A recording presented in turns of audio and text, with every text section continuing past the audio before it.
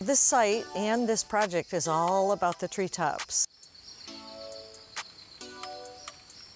Maybe half of the species on the land part of the planet live in the treetops, so it's a really exciting time to go up.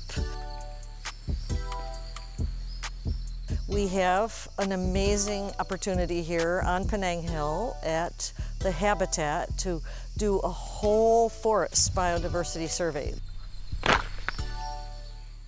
In addition to the whole forest biodiversity approach, which is very unique, we have another unique overlay, which is the fact that we have local and global scientists working together as partners.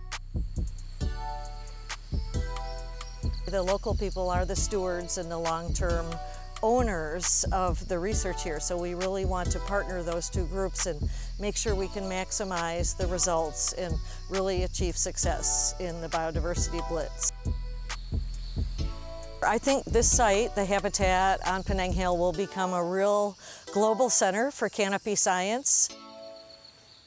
Not only educating the public and having fun in the treetops, but scientists can, in the future, use the research station, use the canopy access tools, and use the data that have amassed over this BioBlitz to build on new discoveries and new ways to really inspire forest conservation.